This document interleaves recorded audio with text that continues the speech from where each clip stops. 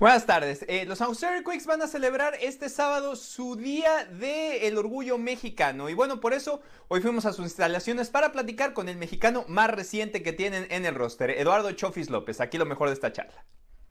Que, es algo lindo, ¿no? Que, el equipo le dé mucha importancia a, un país como es México, en este caso que, nosotros somos aquí, me llena de emoción me, motiva para el, sábado salir a la cancha y darlo todo, la verdad. ¿Cómo has sentido ese, ese cambio de venir a un lugar que si bien es Estados Unidos, de todas maneras se siente, ¿no? Se palpa cuando, cuando vas a los lugares, ves que hay muchos lugares mexicanos, el, poder estar cerca de tu cultura a pesar de estar en Estados Unidos. Sí, fíjate que eso, eso, es, muy lindo, eso que comentas tú.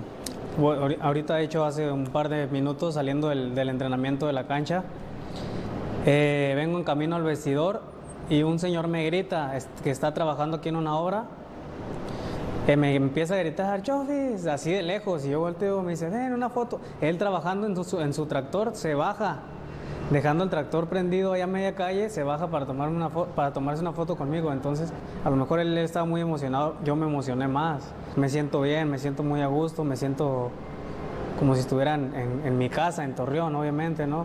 Entonces es, es un punto a favor que la verdad me ha ayudado mucho y, que acá se note, ¿no? Que, el futbolista mexicano es bueno en este caso, que, la gente mexicana hace cosas buenas, es importante tener esa dualidad, ¿no? Pero es un sentimiento bien especial, no sé cómo te sientes tú. Sí, bueno, el, el caso de cuando yo llego acá, la verdad, eh, me, me hubiera gustado llegar de una forma diferente como llegué.